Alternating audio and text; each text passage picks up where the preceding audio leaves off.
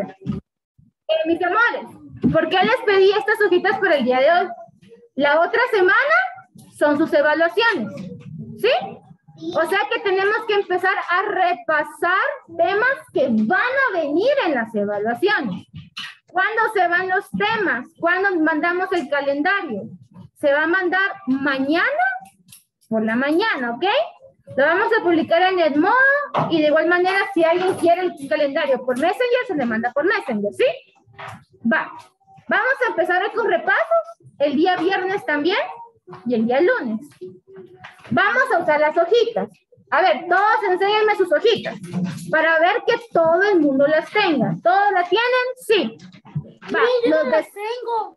los de Zoom, si no las tienen, les va a tocar que dibujarlas en el cuaderno, ¿sí?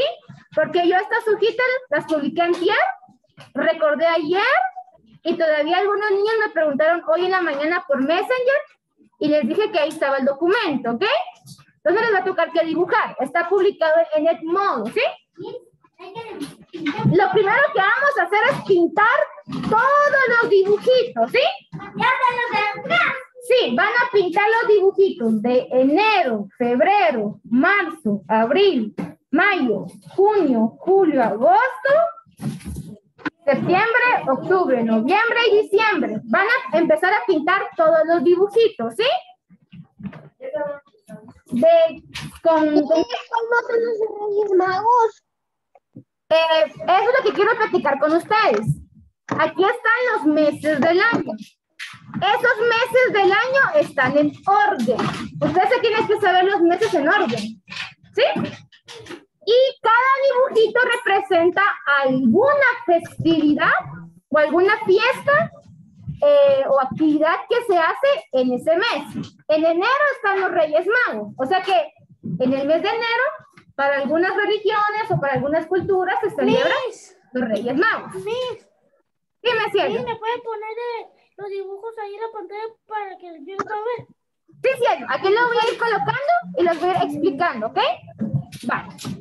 En febrero hay unos corazones. Es porque se celebra el Día del Cariño, el Día de la Amistad, Día del Amor, como usted le quiera decir. Sí, lo podemos pintar con marcadores. Claro que sí, con marcador, con crayón, con lo que tú desees, pero que te quede lindo. Gracias, Miss. Gracias. ¿Nada? En marzo hay una playa, o sea que en marzo usted se va de vacaciones.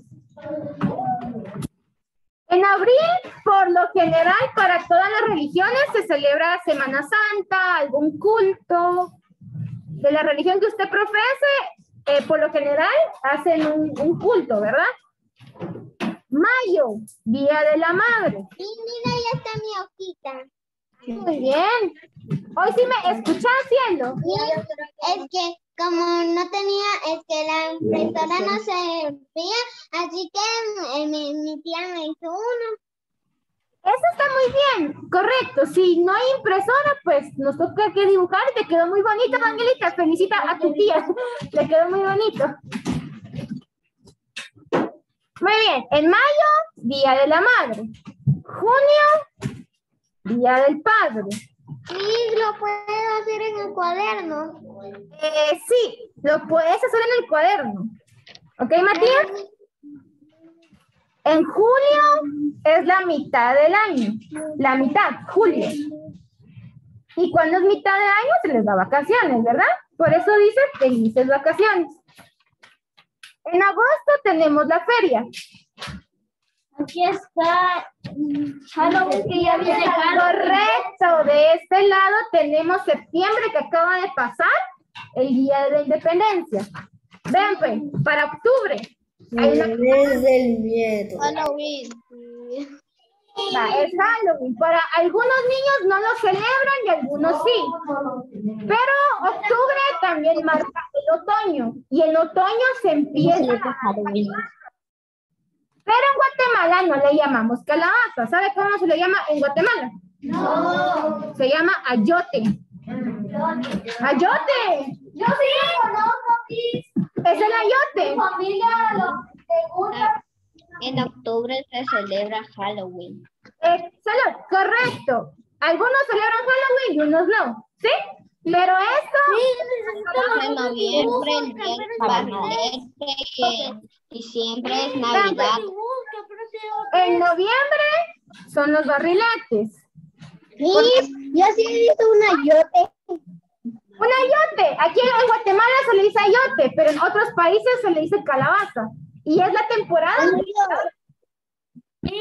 Yo me prefiero calabaza. Si es un día, ¿Qué te pasó, cielo? es que Va. Entonces, como les decía, octubre, mm, temporada o mes de calabazas o de ayotes. Noviembre, los barriletes.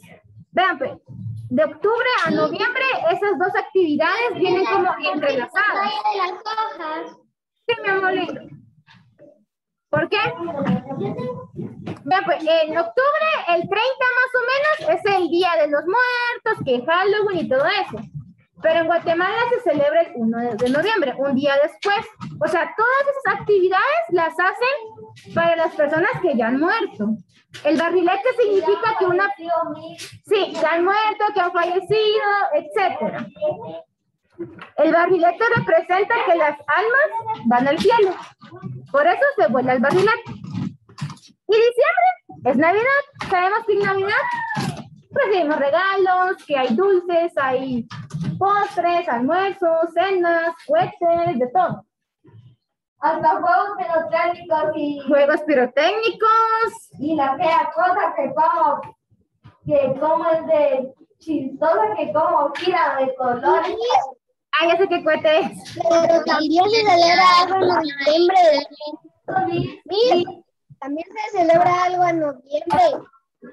En diciembre se puede incluir año, no, perdón, Nochevieja, porque Año Nuevo pertenece a enero. ¿Sí? Va, para, para los de la cultura católica, tienen más festividades. Ah, permíteme, mi amor lindo, solo les quiero indicar esto. Para la cultura católica, pues hay más festividades. Pero estas hojitas traen festividades más generales, ¿ok? Lo que todos podemos celebrar o lo que más comúnmente se celebra. Va, solo quiero que escuchen esto. Ustedes van a pintar todas estas hojitas y después de pintarlas, las van a empezar a cortar en forma de tira, ¿sí? En forma del cuadrito, ¿sí? Así, Sí, las van a empezar a cortar después de pintar. Y después de pintar y cortar, las va a pegar en el cuaderno, en orden, ¿sí?